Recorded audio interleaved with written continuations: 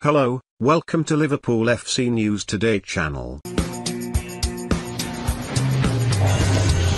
Liverpool boss Jurgen Klopp has seemingly clashed with England head coach Gareth Southgate over Trent Alexander-Arnold's ability to play in midfield.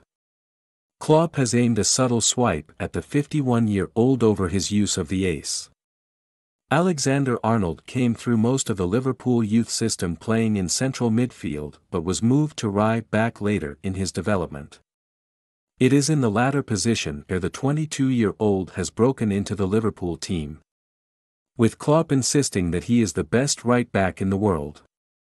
Alexander-Arnold is highly regarded for his crossing and passing ability.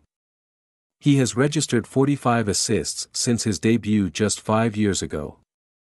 It has prompted suggestions that he could transition into a midfield role.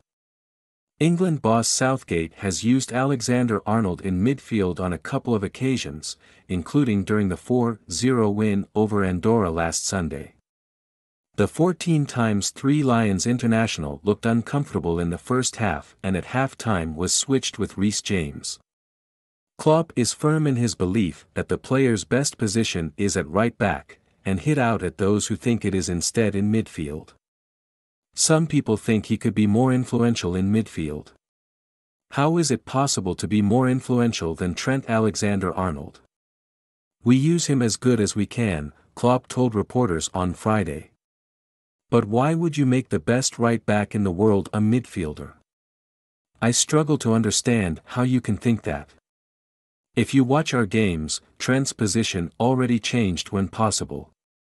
There is no need to make him a midfielder now. It's a shame we talk about this in 2021, good players play everywhere. Trent plays right wing, everywhere. He can play midfield. More a 6 than 8. Former England star Gary Lineker last month argued that Alexander-Arnold should play in midfield. The Match of the Day presenter pointed out that Germany icons Philipp Lahm and Joshua Kimmich have both made the switch. Said it many times, but the best passer in English football is Trent A. He should be playing, like he did as a kid, in midfield, Lineker tweeted last month. Philipp Lahm switched, Joshua Kimmich too. The best players should be in a position where they can more frequently use their brilliance. But Reds icon Jamie Carragher hit back, agreeing with Klopp. The former defender argued that players are presented.